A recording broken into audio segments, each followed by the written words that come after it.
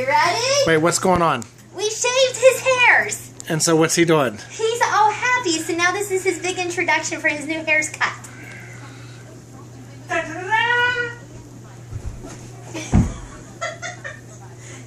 You should show us your hair.